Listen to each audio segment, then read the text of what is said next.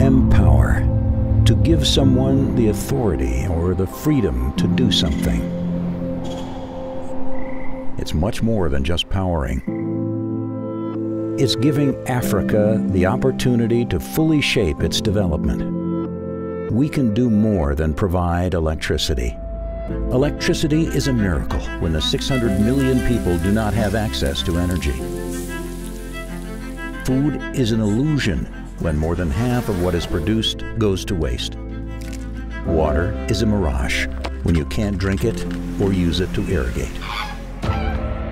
There are particular contexts, such as rural areas, where bringing electricity is not economically viable. Where there's no energy, there's no water. Where there's no water, there's no food. Right? We need a new business model that integrates water, energy, and food in a single field of action. How can we make it happen? Keep on providing sustainable energy and focus on productive uses of energy.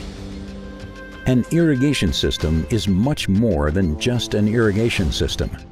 It's the power that enables the transition from subsistence farming to profitable agriculture.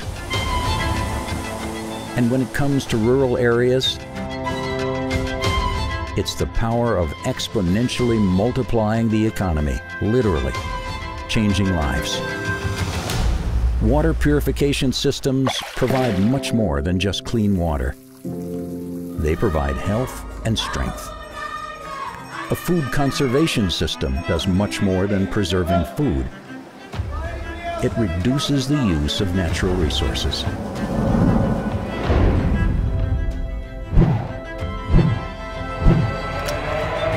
Water, energy, and food actors are called to join forces to achieve full access to electricity and sustainable development.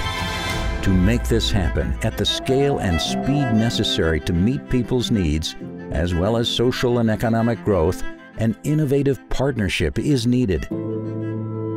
Join the challenge.